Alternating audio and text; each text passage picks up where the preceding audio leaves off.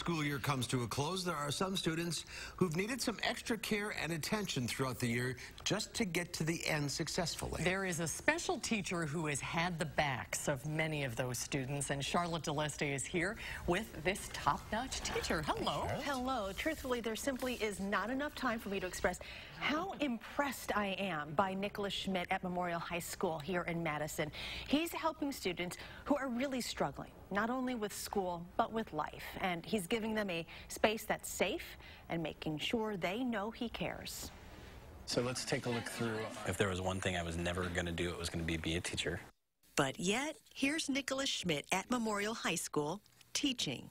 I never saw myself working in a job like this and loving it so much. Mr. Nick, as his students call him, is a credit recovery teacher. I work I work with kids who are essentially a lot of them are throwaways and there's no way for them to graduate. There's no way for them to get their credit and then they come in here and they work and they grind it out and they get it done. But he's so much more than what you see here. I'm teacher, guide, mentor, guidance counselor, social worker, sometimes step into the role of parent. He's also a builder. He builds relationships with his students, making sure they know he's got their back.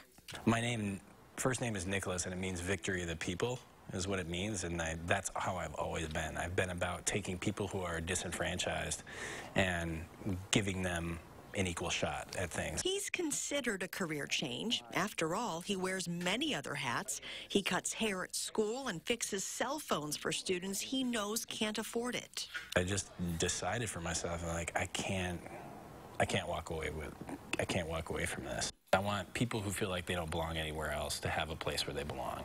And not just where they belong, but where they can actually strive and they can succeed. And the impact he's having on his students is simply undeniable. Honestly, before Mr. Nick, I hadn't really had a teacher that like made me like believe in myself, that I could like do it.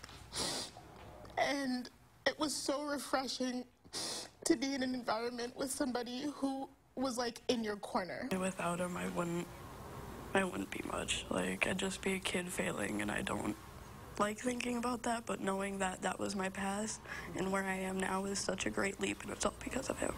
Nicholas Schmidt never imagined himself being a teacher, but because he is, kids are able to imagine a better life. Just someone who's trying to live my life and change lives, uh, you know, as much as I can along the way. Have a good day, everybody.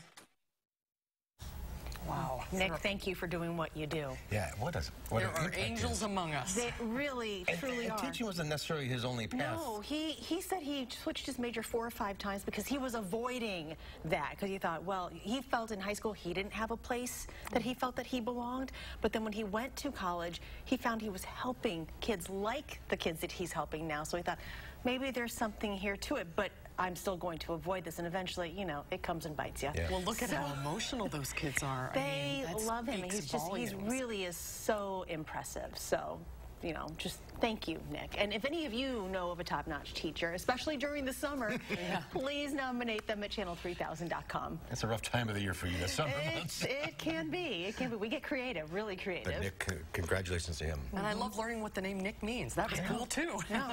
Thanks, Charlotte. Thank you, Charlotte.